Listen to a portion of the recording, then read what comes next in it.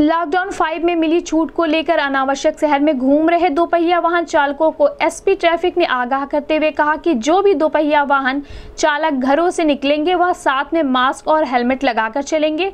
अगर कोई भी व्यक्ति हेलमेट नहीं लगाया और मास्क लगाया है, तब भी हेलमेट पर चालान होगा और हेलमेट लगाया है और मास्क नहीं लगाया है तो मास्क पर चालान होगा। इस संबंध में गोरखपुर न्यूज़ से बात करते हुए एसपी ट्रैफ़िक आदित्य प्रकाश वर्मा ने कहा सी एस सप्लाई की दुकान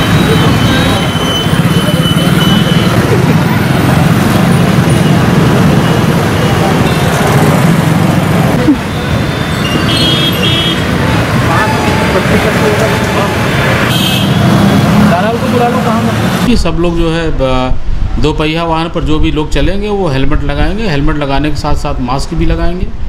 अगर हेलमेट नहीं लगाए तो हेलमेट का चालान किया जाएगा। मास्क नहीं लगाए तो मास्क का भी चालान किया जाएगा। सबकी अलग अलग से दंड की धनराशि निर्धारित की गई है।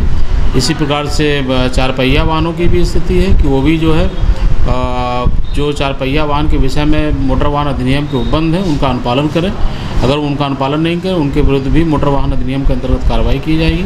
साथ में वो लोग भी मास्क लगाएँ। सर जो लोग ऐसा नहीं करते उनके लिए क्या उनके लिए दंडात्मक प्रावधान है हमारे पास में। उनके खिलाफ हम एम एक्ट में चालान करेंगे और हम जो उसमें जो हमारे पास आदेश आया कि जो मास्क नहीं लगाएगा उसके खिलाफ भी कार्रवाई की जाएगी।